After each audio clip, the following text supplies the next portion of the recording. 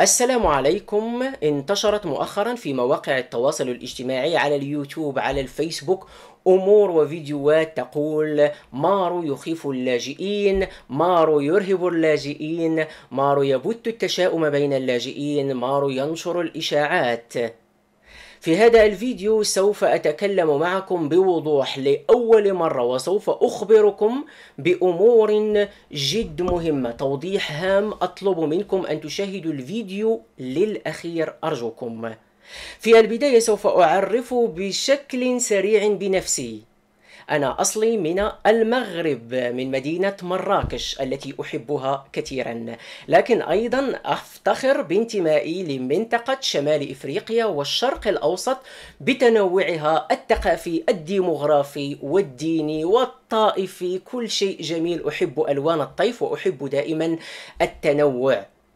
أنا دارس في ألمانيا درست الاقتصاد وحاصل على الإجازة في الاقتصاد في ألمانيا في مجال المحاسبة ومجال الضرائب. أيضا حاصل على شهادة جامعية في مجال التسيير الفندقي وأيضا التسيير المؤسساتي وتسيير المطاعم. اشتغلت في مجالات متعددة كنت مسير لمجموعة مجموعة مطاعم ماكدونالدز خمس مطاعم ماكدونالدز كنت أشتغل هناك في تسييرها. بعد ذلك انتقلت واشتغلت في مدينة مونشن في شمال مونشن كنت مسؤول عن تسيير آه تقريبا أربع سوبر ماركيات آه ليدل سوبر ماركت كنت أنا هو المسير هناك آه أصدقائي. بعدها اشتغلت في مجالات متعددة في المجال الفندقي مجال الشركات والضرائب والمحاسبة. بعد ذلك انتقلت إلى مقاطعة البادن فورتمبيرغ وهناك بدأت الاشتغال في مجال الحكومي مجال الحكومة الألمانية موظف في ال Jobcenter أصدقائي موظف مسؤول. تجربتي مع قناتي باليوتيوب. قناتي باليوتيوب كانت من أول القنوات التي انتشرت في المجال العربي في اليوتيوب. أتكلم دائما باللغة العربية الفصحى لأني لأني أحب دائما أن نكون كلنا واحد كلنا مجتمعين. نفهم بعض ونعاون بعض. لذلك لا أتكلم قليلا يعني قليلا لما أتكلم باللهجة المغربية. آه، بداية قناتي باليوتيوب يعني أنا ابتدأت باليوتيوب في 2007 2008 كانت عندي قناة وهذه القناة أظن 2010 أو 2011 أسست هذه القناة. أصدقائي بدأت بتعليم اللغة العربية للألمان علمت اللغة الفرنسية علمت لهجات عربية للألمان. يعني عندما ترون فيديوهاتي القديمة عندي آه، أيضا فيديو خاص بتعلم اللهجة المغربية. لهجة مصرية لهجة لبنانية. آه، سوف أعمل أيضا قريبا ممكن أيضا لهجة سورية. بدأت أتعلم لهجة سورية وعراقية. يمكن أيضا أن نعمل فيديوهات في هذا المجال.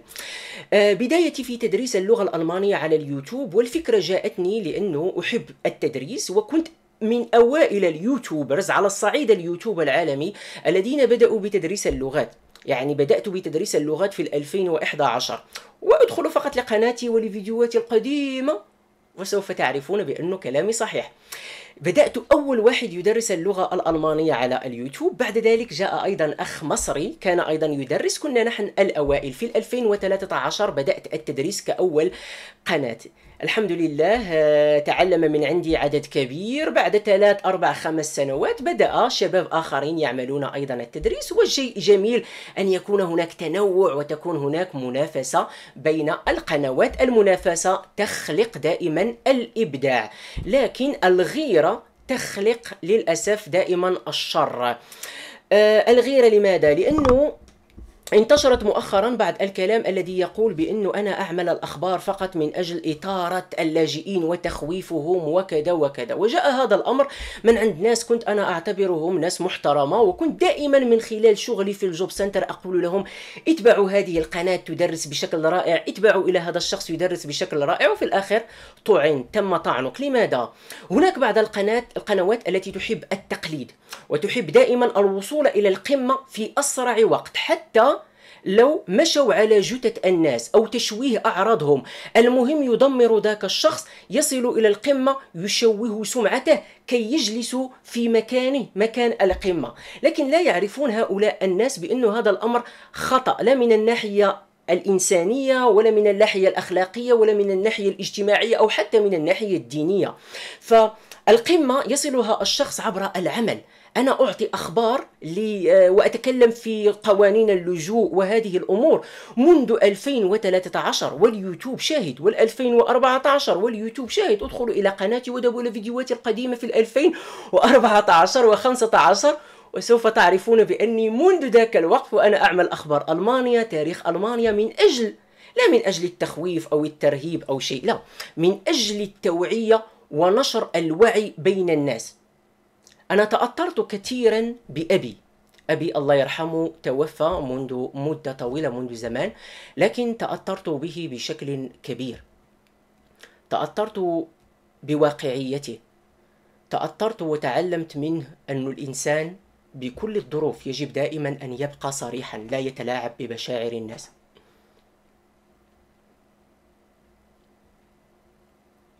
لذلك أرفض التلاعب بمشاعر الناس وأرفض التلاعب والكذب على الناس وأرفض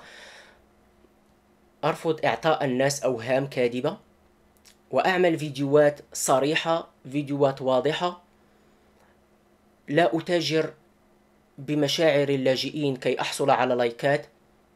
لا أنافس قناة بالكذب وأكذب وأقول لهم صاحب تلك القناة كذاب كفى كذبا أنت كذاب أنت منافق أنت ترهب اللاجئين. يلا تعالوا يا جمهور تعالوا عندي. أنا لن أرهبكم أنا لن أكذب عليكم. أبي كان بالنسبة لي مثلا أعلى في مثل هذه الأمور وندمت ندمت لأنه كان كثير واقعي معي ولأنه عندما كنت صغير في السن وفي سن المراهقة يعني تعرفون طيش الشباب و كنت دائما أرى كلامه فقط تخويف وترهيب. كان يقول لي اعمل يا ابني ادرس يا ابني اصحى باكر يا ابني لا تتهاون في عملك هذا يا ابني لا آه، كن صريحا أخبرني دائما بالصراحة ماذا عملت ماذا كذا. وتعرفون طيش الشباب الإنسان لا يفكر لكن عندما الإنسان يكبر ويوعى يعرف قيمة هذه الأمور وعندما فقدت أبي ومررت بأمور صعبة في الحياة هنا في ألمانيا. عرفت ما كان يقول لي. وأمي أيضا آه، أمي أيضا أتمنى أيضا إن شاء الله لأمهاتكم وآبائكم طول العمر إن شاء الله طول العمر بإذن الله. أمي أيضا كانت دائما تطلب مني دائما أكون صريح. أحبني الناس أو كرهني الناس. قل دائما الصراحة لا تنافق لا تكذب. الناس التي سوف تسبك وسوف تنتقدك لأنك قلت لهم الصراحة وسوف يذهبون عند شخص يكذب عليهم. لا يا ابني لا تكن منافقا ابقى على منهاجك. إذا نفرت منك الناس لأنك صريح سوف تذهب عند ذاك الشخص لأنه يكذب عليهم. في يوم ما عندما ذاك الشخص يستيقظ ويقول لهم الصراحة سوف ينفرون منه. لذلك ابقى على منهجك وسوف يبقى يتابعك ومعك الناس الناس الواعية والناس المثقفة هي التي سوف تبقى معك في الحلوة وفي المرة في الجميل وفي في في الأوقات الجميلة والأوقات السيئة. وهذا ما لاحظت الحمد لله. بعد هذه الحملة التهجمية الشرسة من عند ناس فقط يرغبون باستغلال سمعتي ومعرفتي للخبايا وتشويه وقول كلامي على انه اشاعات وهو حقيقة. هؤلاء الناس فقط يرغبون بسرقة محتوى قناتي وسرقة جمهوري لأنه أنا اشتغلت لكي أصل إلى هذه القمة. اشتغلت أكثر من ثمانية سنوات عشرة سنوات لكن هم فقط في ظرف أربعة أسابيع بدأوا يقلدونني في العمل وقالوا نريد أن نصل بسرعة سوف نمشي على جثته سوف نفتك عرضه سوف نشوهه. ونقول بأنه يرسم الإشاعات ونجلس ونضحك ويبتون في الناس القومية ويحاولون أن يكرهوا إخواننا السوريين ويكرهوا العراقيين واللبنانيين والفلسطينيين واليمنيين وال...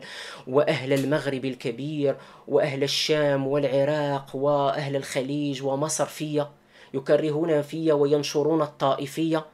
بعدما كنت أنا ولله الحمد ومجموعة الجمهور كلنا نجمع للتجمع بين الأكراد والعرب والأمازيغ وكل أفارقة وكل الطوائف يفرقون ويريدون أن يعملوا تفرقة لا حول ولا قوة إلا بالله. فيديوهاتي هي فقط للتوعية لتوعية الناس ولمعرفة ما يوجد من خبايا ولكي لا نكون مثل الأطرش في الزفة. بسبب فيديوهاتي أصبح الناس كثر يعرفون السياسة في ألمانيا وماذا يحدث في ألمانيا. وستبقى وصية أبي وسيبقى ما قال لي دائما بالنسبة إلي. هو المثل الذي سوف أمشي به لأني تعبت كثيرا في هذه البلاد وأريد أن أكون نموذجا لبعض الشباب والجيل الجديد؟ كي ينجح أريد أن أرى جيلا ناجحا إن شاء الله منكم. نساء رجال صغار كبار. إن شاء الله سوف نبقى على هذا المنوال وأنتم لكم الكلمة الآن. في أن تفرقوا بين الكذاب من هو الكذاب ومن هو المنافق ومن هو الصادق الذي لا يريد سوى الخير لكم؟ قالوا على رسول الله أنه كذاب قالوا على كل الرسل عيسى سيدنا عيسى سيدنا موسى إبراهيم نوح كذابين. وفي الآخر في الآخر تعرفون من دخل مزبلة التاريخ. المنافقين هم من يدخلون مزبلة التاريخ. سأبقى على هذا المنوال. شكرا لكم شكرا لكل من يساندونني خصوصا في هذه الأيام الصعبة. شكرا لكم. وأقول لأصحاب الضمير الفاسد كفى متاجرة بمشاعر الناس؟ إذا كنتم ترغبون القمة الوصول إلى القمة اجتهدوا واعملوا. ولا تحاولوا التقليد. الصين الصين معروفة بالتقليد تقليد المنتجات. لكن لاحظوا من يشتري المنتوج الصيني؟ المنتوج الصيني. كلنا نعرف ميد إن تشاينا وميد إن جيرماني أنتم الآن ستفرزون بين المنافق وبين من يقول الحقيقة. ولا تخويف ولا ترهيب إنما نشر للوعي وفتح للأعين كي تحصلوا على الإقامة الدائمة والجنسية وتخرجوا من صفة لاجئ. السلام عليكم.